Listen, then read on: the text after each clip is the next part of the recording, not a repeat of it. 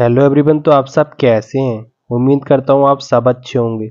आज की इस वीडियो में बात करते हैं फंगल इन्फेक्शन के बारे में, स्किन इन्फेक्शन के बारे में, या फिर आपको किसी टाइप की एलर्जी हो गई है। तो ये क्यों होती है, इसके लक्षण क्या है, और इसे कैसे ठीक किया जाए? तो इस वीडियो में कम्प्लीटली बताऊँगा। अगर आपने मेरा चैनल अभी तक तो सब्सक्राइब नहीं किया, सब्सक्राइब कर लीजिए इस वीडियो देखने के लिए। फंगल संक्रमण। एक ऐसा संक्रमण है जो पुरुष और महिला, बच्चे, बुज़ुर्ग किसी को भी प्रभावित कर सकता है। यह संक्रमण शरीर के किसी भी हिस्से पर हो सकता है, जैसे हाथ, पैर, सिर या उंगलियों में या मुँह में या शरीर के अन्य भागों में भी हो सकता है। वैसे सभी प्रकार के फंगस हानिकारक नहीं होते हैं। कुछ छोटे छोटे फंगस होते हैं जो हवा के माध्यम से हमारे शरीर में प्रवेश करते हैं और हमें संक्रमित करते हैं। चलिए जानते हैं फंगल इन्फेक्शन क्या है। फंगल इन्फेक्शन कितने दिन में ठीक होता है, इत्यादि सब बताएँगे।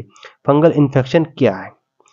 अलग अलग प्रकार के फंगस जब संक्रमण का कारण बनते हैं तो उसे फंगल संक्रमण या फंगल इन्फेक्शन कहते हैं।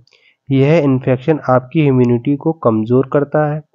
फंगल इन्फेक्शन एक छोटे से दाद घाव से लेकर जानलेवा इन्फेक्शन जितना बड़ा हो सकता है, जो शरीर के किसी भी हिस्से पर हो सकता है, फंगस कहीं भी हो सकता है। हवा, पानी, मिट्टी, पौधे इत्यादि। कई तरह के फंगस ऐसे भी होते हैं जो हमारे शरीर में भी पाए जाते हैं। इनमें से कुछ अच्छे भी होते हैं और कुछ हानिकारक भी होते हैं। फंगस को जल्दी हटाना थोड़ा मुश्किल होता है क्योंकि ये किसी भी माहौल में ज़िंदा रह सकते हैं। फंगल इन्फेक्शन के लक्षण क्या है?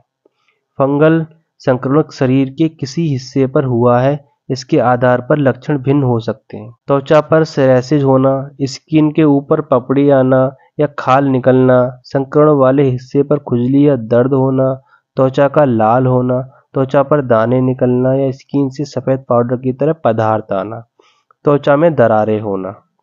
अब फंगल इन्फेक्शन के कारण क्या है? कमज़ोर इम्यूनिटी सिस्टम फंगल इन्फेक्शन के प्रमुख कारण हैं। ज़्यादा नम या गर्म वातावरण के साथ नम त्वचा में भी इस संक्रमण का कारण है। अनुवांशिक कारक या पारिवारिक ऐतिहासिक में फंगल इन्फेक्शन का कारण हो सकता है। फंगल इन्फेक्शन से पीड़ित व्यक्ति के संपर्क में आने से भी संक्रमण आपको हो सकता है। अक्सर छोटे बच्चों में नेपी रैसेस भी होते हैं, जब बच्चा लंबे समय तक गीली नेपी पैड पहने रहता है। फंगल इन्फेक्शन में क्या खाना चाहिए? नारियल तेल। नारियल तेल को अपनी डाइट में शामिल करें।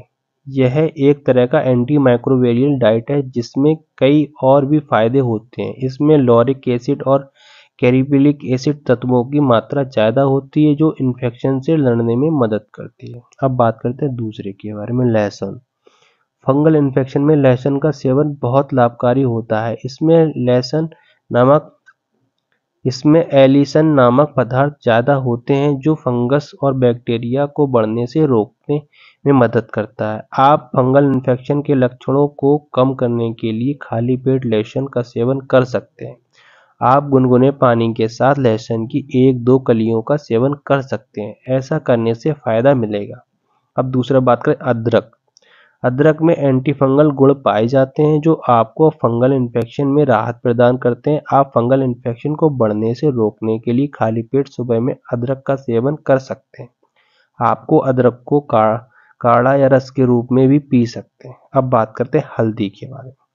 हल्दी एक शक्तिशाली एंटी फंगल और एंटी इंफ्लेमेटरी एजेंटा होता है। इसमें कर्म्यूमिक पाया जाता है। हल्दी का सेवन संक्रमण आदि को कम करने में मदद करता है। आपको इसका सेवन दाल सब्ज़ी में करने के अलावा दूध में भी हल्दी डालकर सेवन कर सकते हैं। अब बात करते हैं इसमें दवा के बारे में। आप कौन सी क्रीम इसमें लगा सकते हैं जो फंगल आपके यूज़ में आए, फंगल ठीक हो जाए? अब बात करते हैं क्रीम के बारे में। कौन सी क्रीम आप इस पर लगा सकते हैं अपनी स्किन के लिए? फंगल अगर आपको हो गया है तो। तो अब बात करता हूँ, मैं साल्ट के बारे में बता देता हूँ आपको क्लोट्रमाजोल या फिर इकोनाजोल या फिर टर्बिनाफाइन या फ्लूकोनाजोल या कैटोकोनाजोल ये सब यूज़ कर सकते हैं। कैंडिड भी नाम से क्रीम आती है, आप इसे भी यूज़ कर सकते हैं। और आपको दूसरी क्रीम का नाम बता दूँ, आपको टर्मिना फोर्स नाम से आती है, आप इसे भी यूज़ कर सकते हैं। अगर आपको फंगल इन्फेक्शन हुआ है स्किन में इन्फेक्शन हुआ है तो।